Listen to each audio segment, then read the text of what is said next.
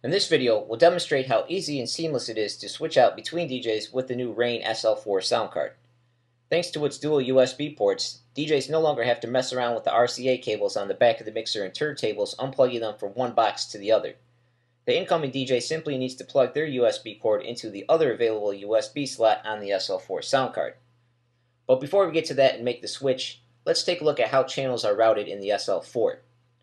The way audio is routed in the SL4 is determined with these drop-down selectors above the virtual decks. They are labeled channels 1, 2, 3, and 4, and these channels are, correspond to the physical input and outputs on the SL4 sound card. You are free to use whichever inputs and outputs you want on the SL4, but in this example, we'll use channel 1 for the left deck and channel 2 for the right deck.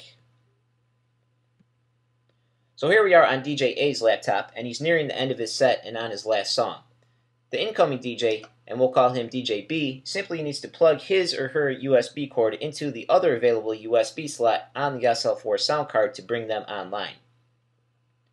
But before DJ B can take over, we need to make some changes with the channel selector on DJ A's computer.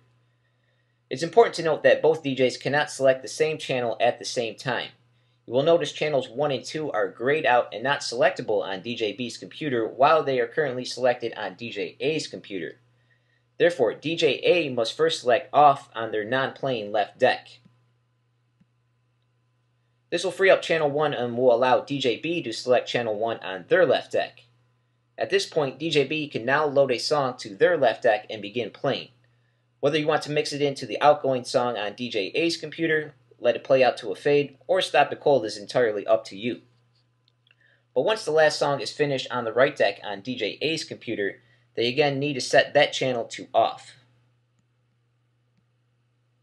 This will free up and allow DJ B to select channel 2 on their right deck and load a song and begin mixing fully. At this point, DJ A is now done.